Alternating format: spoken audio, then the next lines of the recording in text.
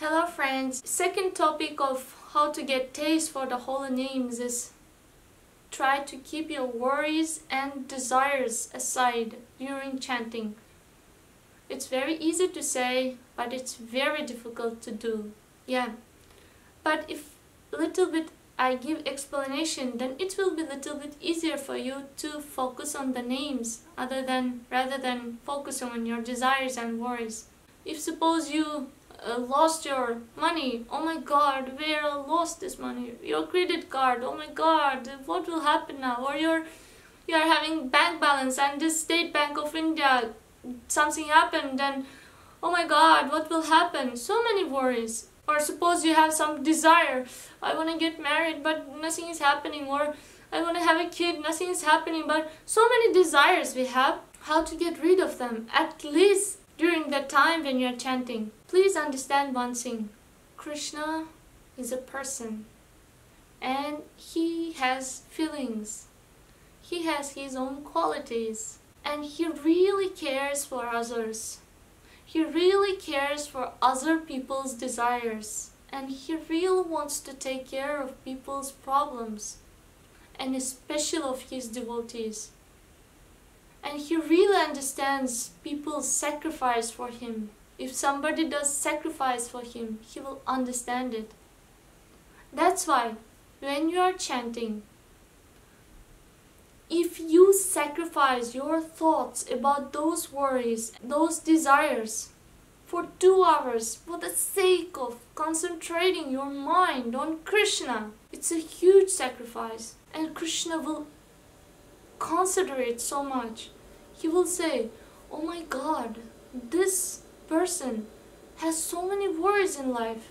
He lost someone or he, he lost his money. He's losing his house but he's sacrificing all the things, all the worries, just to give his attention to me or her attention to me. That's why I have to take care of this person. Or if you have material desires and you sacrifice this for two hours, don't think about them. Don't think. Just try to focus on the holy names.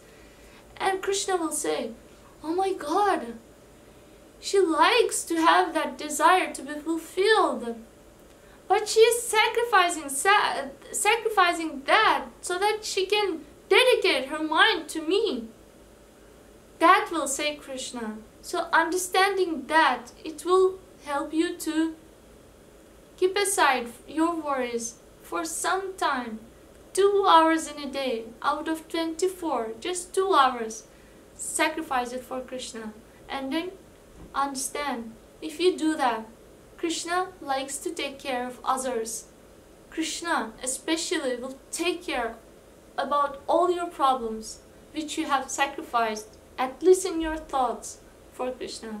If you do 10 steps towards Krishna, he will do his own 10 steps towards you and he is very big. Vamanadev, he is very big. So in, in order to support this idea, I will give you an example, the story which really happened. There was a king who used to worship Lord Jagannath and he was very strict in his sadhana. And he had a he had built a very nice room for the deities that when he enters to that room nobody should disturb him even his own wife kids nobody he will tell, don't disturb me for two hours. I'm inside this deity room and I'll be doing my service.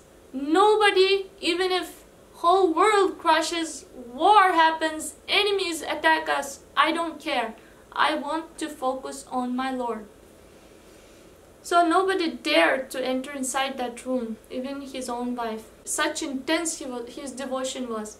So one day he entered inside and after 20 minutes or so the, they found out that enemies are attacking their city very serious enemies are coming to attack and if they come that's it the kingdom will be lost crushed into the earth it, the very strong enemies are attacking this country this kingdom.